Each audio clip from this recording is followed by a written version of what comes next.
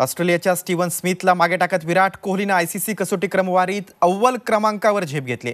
Master blaster Sachin Tendulkar नंतर कसोटी क्रमवारीत नंबर वनचं स्थान पटकावणारा तो पहिला भारतीय फलंदाज आहे.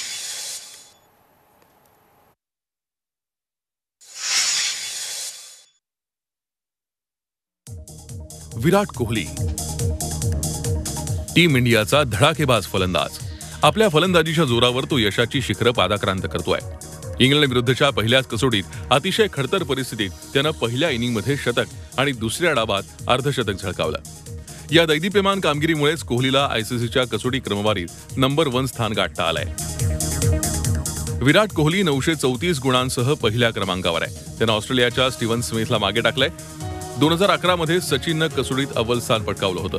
सचिन नंतर कोहली पहिलं स्थान पटकावणारा पहिला भारतीय ठरलाय. भारताकडून याआधी राहुल द्रविड गौतम गंभीर सुनील गावस्कर वीरेंद्र सेहवाग आणि दिलीप वेंगसरकर यांनी कसोटी क्रिकेटमध्ये नंबर वनचं स्थान पटकावलं होतं. विराट कोहलीनं इंग्लंड विरुद्धच्या पहिल्या कसोटीमध्ये आपल्या आक्रमक स्वभावाला मुरड घालत संयमी फलंदाजी केली.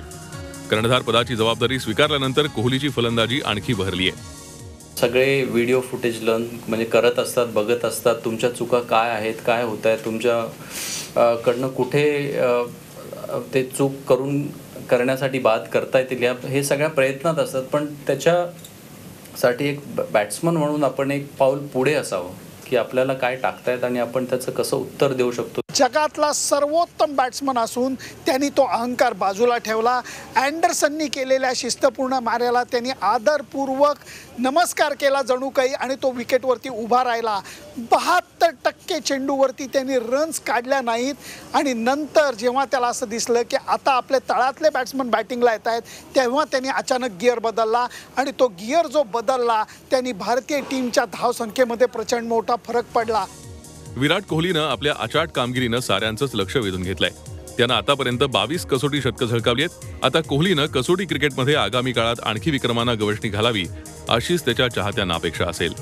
Bureau report Zee media Mumbai.